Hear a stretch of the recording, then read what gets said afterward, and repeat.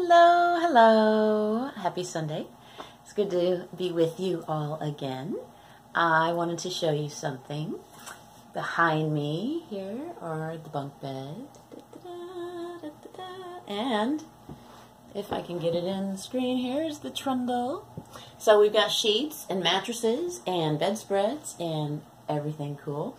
What something I thought was cool, little awesome small thing, but that makes me super happy, is that when we bought these beds, I wanted green, I wanted something fun. And I pulled out these old bedspreads that I used to have when the kids had twin beds. Now they have full beds at the other house. And they matched so perfectly and just made it even brighter and more fun in here. So, I mean, I don't even know if I'll paint the walls just because there's so much color here. This white kind of looks good with it. I don't know. We'll see. But it's fun. It's cool. I'm excited. We got things rolling here. And uh, we're moving. I'm moving forward. And I love that feeling. Couple days ago, past couple of days actually, kind of back down again on my down feeling down and trying to get myself back up. And so I'm feeling better today. I always feel better after I go to church. I just always do because I'm always filled with the Spirit again. And I'm just filled with, with hope. And there's always amazing lessons. In fact, the lesson today was on sacrifice. And it really got me thinking about things. And it got me thinking about my will and about obedience.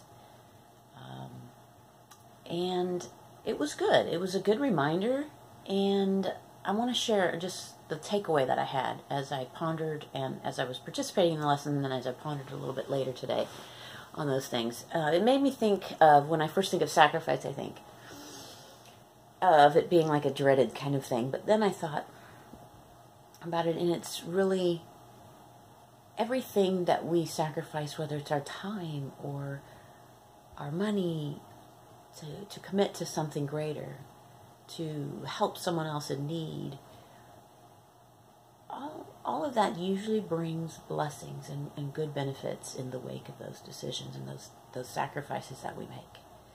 And so, in the end, it's really deciding what you want and working towards that goal and just letting go of things that aren't important.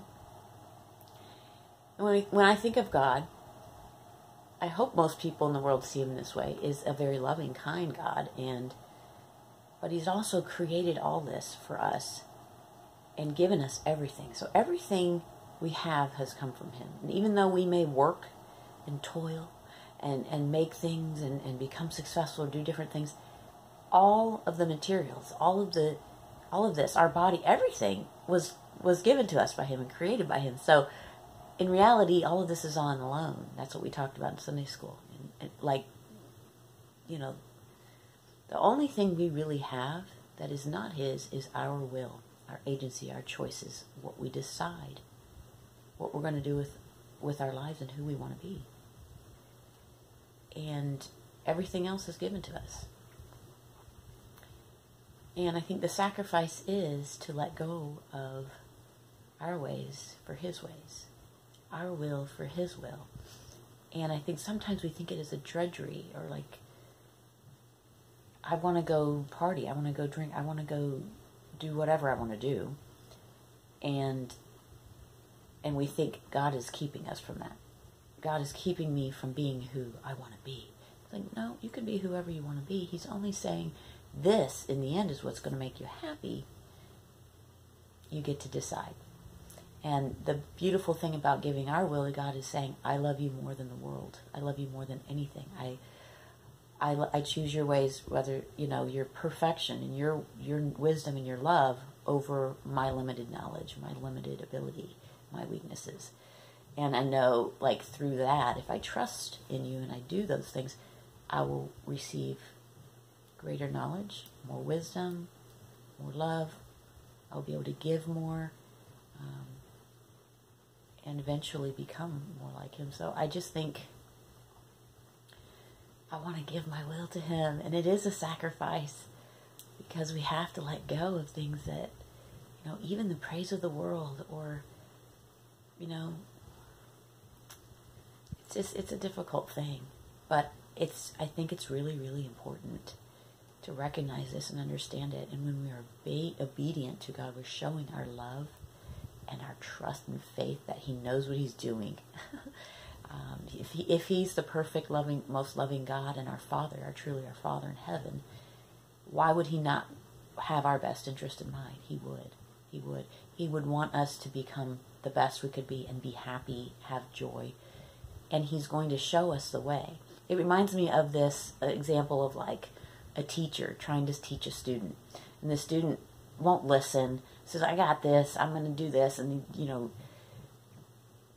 whatever it is he's learning, and he's messing up, he's not getting it right.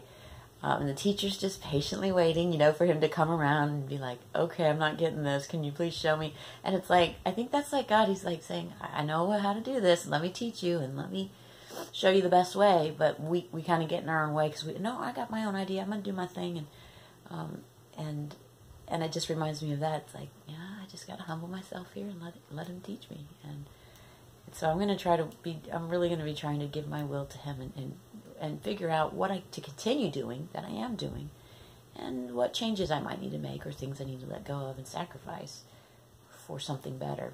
It reminds me of this quote, um, and I can't remember who it was. I wish I could remember who who it was that quoted it, but it's it's not coming to me right now. But the quote is, "You can have what you want, or you can have something better." And that has just stuck with me. Like, yeah, I can have what I want, because I can. I can make it happen. Almost anything. Any of us can. Or we can let go of some of the things we think we want or we think that are, are the best things and go for something better. And, and we might have to be patient and it might not come, come in this life, but it will be better for us now and in the future to choose to give our will to God, to love Him more than anything. Whew, and that is, that is just challenging. That's hard. So that that's going to be my goal this week. And today I'm going to be doing some planning. And I'm going to really try to focus and understand what it is that I can do this week to do more of His will, to do more of His work, rather than continue. Because I have a I have a tendency to be like, I'm going to plan this, I'm going to do this, I'm going to do this. I think maybe I'll just say, okay, this is what I'm planning. Is this what you want?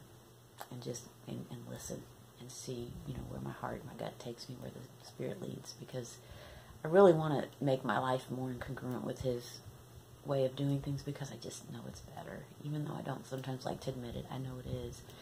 And it's hard to let go sometimes of those things that we think we really need approval of others, um, relationships. I mean, it could be anything. And, and just putting our trust and having the faith that it'll be the way it needs to be. And we'll learn. And I'm excited for things I'm going to learn and the changes that will come. Wow, I mean, it's awesome. thanks for tuning in, guys. That's that's what I'm learning right now. And I'm feeling much better today. Feeling happier than I did the past couple days, which were difficult for me. But I'm back up and I'm back at it.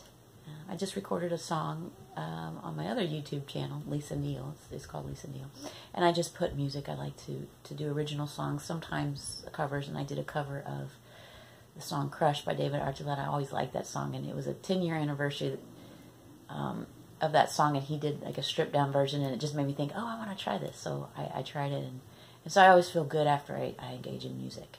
And again, that's my fourth goal to make it more a part of my life. And so when I do that, I always feel better. So if you want to check that out, you can. Anyways, have a good week, you guys, and I'll be seeing you in a few days. Take care. Bye. Love you.